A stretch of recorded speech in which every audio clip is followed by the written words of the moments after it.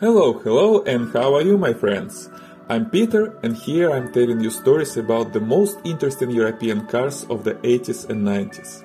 Today we are talking about a car with an interesting history combining three great names in the British automotive industry together. This is the story of Aston Martin DB7, produced between 1994 and 2004.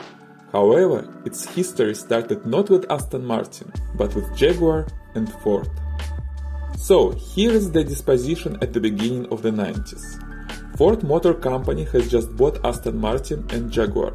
Both companies had a great history and brand value, but were struggling financially as the whole British automotive industry at that time. Jaguar had a very good and successful GT car Jaguar XJS, a really cool sport coupe, but it was launched in the middle of the 70s and was very outdated frankly speaking for the 90s. The engineers and designers of Jaguar wanted to build a new modern car on the platform of XJS.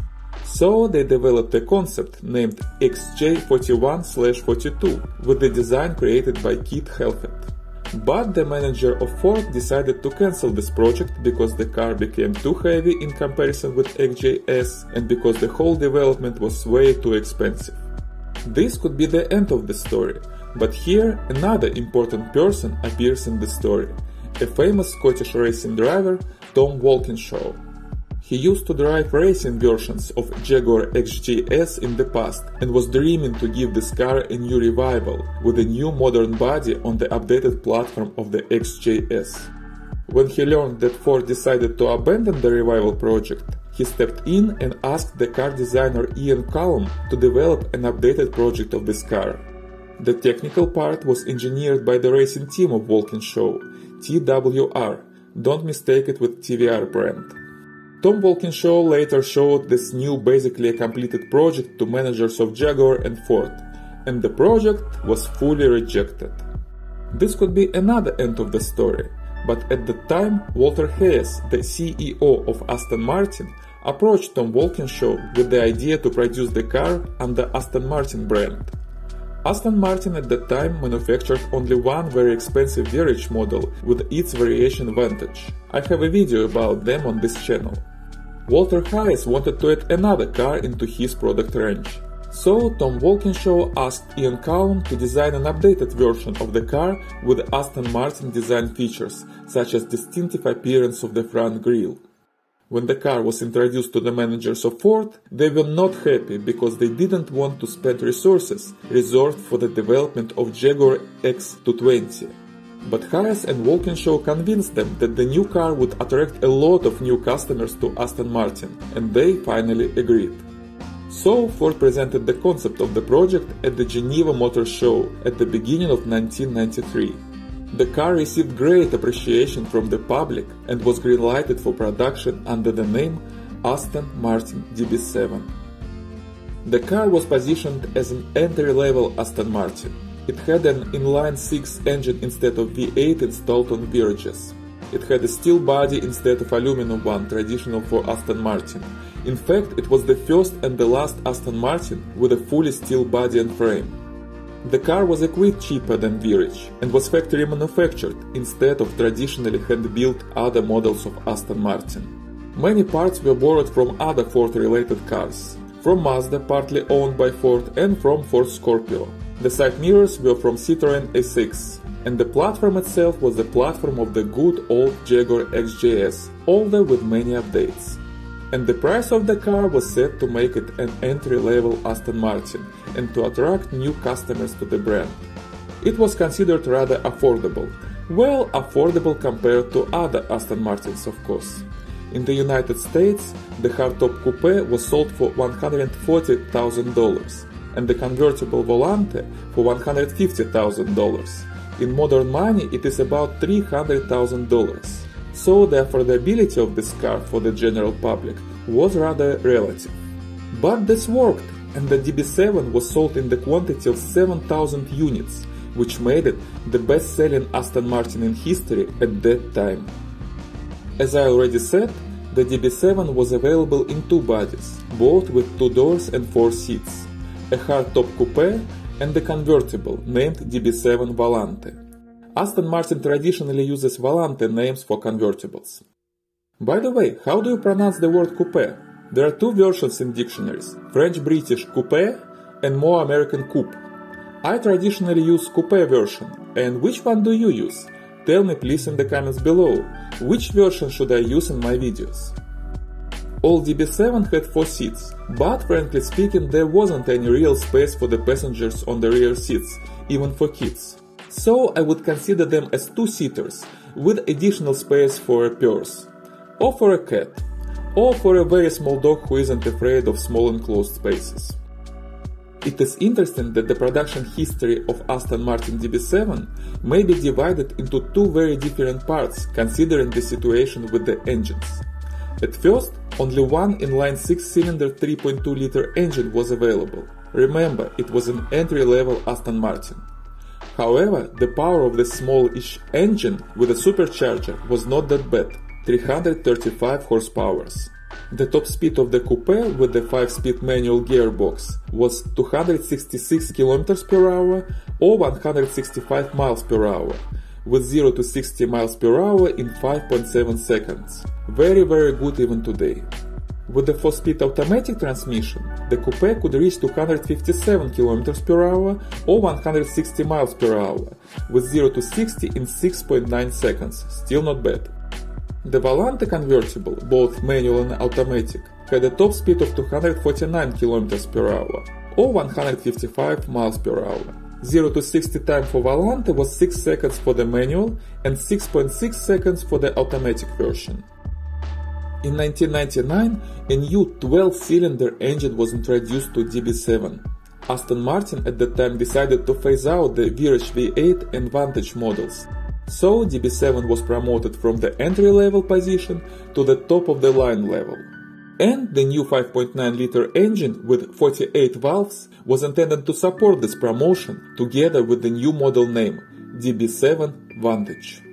This engine had 420 horses inside and made 296 km per hour or 184 miles per hour with the new 6-speed manual gearbox. The 5-speed automatic version, also with new transmission, was limited to 266 km per hour or 165 miles per hour. The 0 to 60 miles per hour times were 5 seconds for the manual coupe, 5.9 for the automatic coupe, the same 5.9 for the manual Volante, and 5.2 seconds for Volante with automatic transmission. The production of the 6-cylinder engine was ended in the middle of 1999. In 2002, another version of the V12 engine appeared on DB7 Coupe.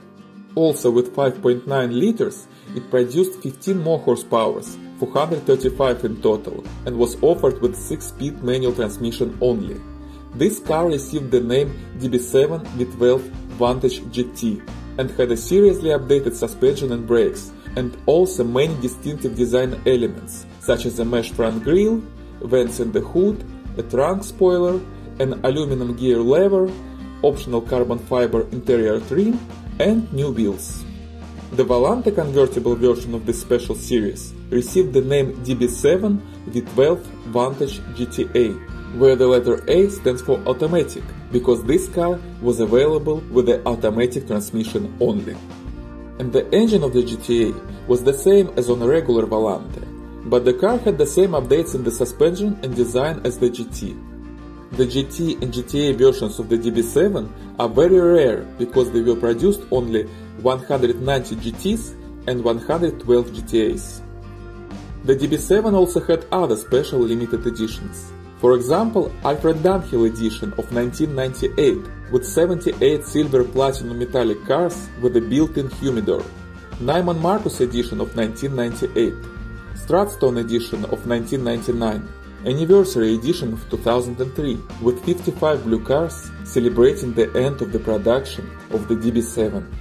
There were several other special editions, but the most interesting ones in my opinion were made in a collaboration with Italian body design company Zagato, the Aston Martin DB7 Zagato of 2002 and DB AR1 of 2003, where AR1 stands for American Roadster 1. Both cars were produced in the number of 100 units, with one car from each edition made for the Aston Martin Museum. The DB7 Zagato had a steel body designed together by Andrea Zagato at Zagato and the chief designer of Aston Martin, Henrik Fisker, and featured the signature double bubble Zagato roofline. It was only offered in the UK, Europe and Southeast Asia. It had an updated V12 engine increased to 6 liters with 435 horny ponies and the top speed of 299 km per hour or 186 miles per hour and 0 to 60 acceleration in 4.9 seconds. The DB AR1 with a topless body was based on the DB7 Volante and was only offered in the United States. By its idea, the AR1 was intended for southern sunny American states and had no roof of any kind at all. The engine and output were almost the same as in DB7 Zagato, with minor differences. Also, the owners of DB7 could use the services of Aston Martin's in-house tuning shop, Work Services, to upgrade, modify and personalize their cars. For example, it is known that Work Service built at least one DB7 with the V8 engine from the famous VRH 6.3. It is interesting to mention that after the success of Aston Martin DB7, the management of Ford changed their opinion on the revival of Jaguar XJS and launched a car on the same platform under the name Jaguar XK. The Jaguar XK was offered with several V8 engines, which was never an option for standard Aston Martin DB7s. But the XK never had the V12 engine of Aston Martin. At the same time, these cars are very close to each other and many parts are interchangeable between them. And this is good news for the owners of the DB7s, because the same parts under Jaguar brand may cost several times less than the parts with Aston Martin logo on the packaging. However, the cars are different in many aspects, and the DB7s have many parts that are unique to them. We will speak about the Jaguar XK separately someday. But for now, the question that customers may face is the choice between the XK and the DB7, and the answer is not obvious at all. On the one hand, the Jaguar XK may be a little more reliable, especially in comparison with 6-cylinder DB7s. On the other hand, the V12 engine, a really good one, can be found on DB7s only. But Jaguar's parts are cheaper and therefore the maintenance as well. However, when you answer the question, what car are you driving? There is a huge difference between the answers Jaguar and Aston Martin, even if you have just a simplish 6-cylinder Aston Martin. So the choice is difficult, and everyone should make it for themselves. There were some concerns about the quality of the DB7, especially for earlier made cars. But frankly speaking, most British cars of the time may face these concerns. So, if you really want to be a part of the classic British luxury, you should accept some drawbacks common to this area. These cars are not about reliability, they are about styling and the feeling of the aristocracy. At the same time, the owners and testers report the DB7 as a very cool car to drive. It has undoubtful power and dynamics. It drives well, it handles corners greatly, it accelerates perfectly, and it sounds awesome. It may be not the most luxurious and comfortable car, but it is a car for a driver.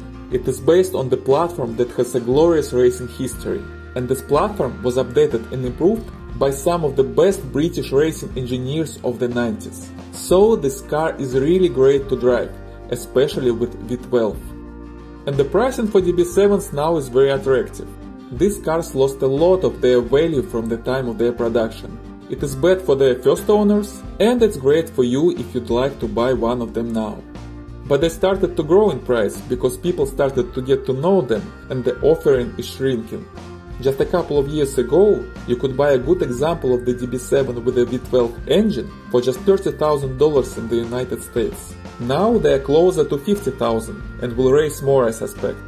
So, if you want one, do not wait.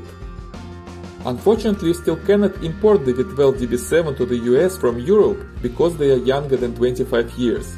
But you can import many of 6-cylinder DB7s to the United States if they are older than 25 years.